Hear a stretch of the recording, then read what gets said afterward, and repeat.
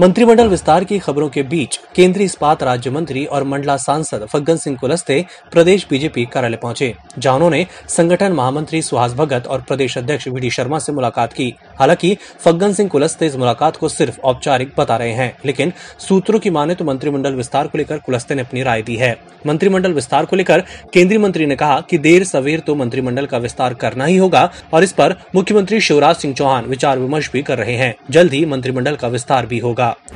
मुझे कोई जानकारी है और ना कोई इस प्रकार की गतिविधियों के बारे में कब होगा, कैसे होगा, इसके बारे में कोई बातचीत नहीं है। ये ज़रूर है कि देर सबेर करना पड़ेगा। मुख्यमंत्री जी तय करेंगे।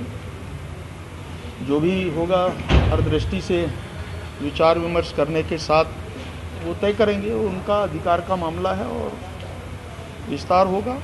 वहीं प्रदेश में 24 विधानसभा सीटों पर होने वाले उपचुनाव को लेकर केंद्रीय मंत्री कुलस्ते का कहना है कि भारतीय जनता पार्टी की रीति नीति के चलते ही सरकार वापस सत्ता में आई है। प्रदेश सरकार ने विकास कार्य किए हैं, उसी के आधार पर बीजेपी उपचुनाव भी जीतेगी। देखिए,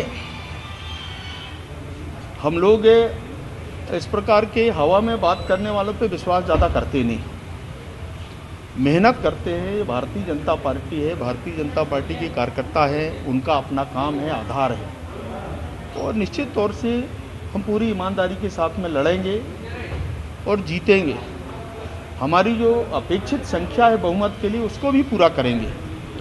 ये ज़रूर है कि जैसा उनका कहना है तो इसमें सरकार फिर बन जाएगी। उनकी संख्या और आज ये संख्या को देखेंगे तो निश्चित तौर से बहुत अंतर है। वोट का भी जो आधार है, भारतीय जनता पार्टी का जो वोट परसेंट है, वो भी अच्छा है। पिछले चुनाव भी आएँगे, उनसे भी हम डेढ़ परसेंट ज़्यादा है। ये ज़रूर है कि संख्या के आधार पर हम थोड़े पीछे थे, वो कुछ ज़्यादा थे। इसलिए उनको अवसर मिला। और इसलिए ये कहना कि हम ये थोड़े समय के लिए, मुझे नहीं लगता कि देखिए, जिन प्रकार की जो परिस्थितियाँ हैं, ये ज़रूर है कि आज लोग चाहते हैं, किसान चाहते हैं, हमारे मजदूर चाहते हैं, और ये प्रदेश में रहने वाले लोग भी चाहते हैं कि अच्छी सरकार की कल्पना है। भोपाल से ईएमएस टीवी के लिए वीडियो जर्नलिस्ट देवेंद्र माली के साथ आकाश सोनी की रिपोर्ट।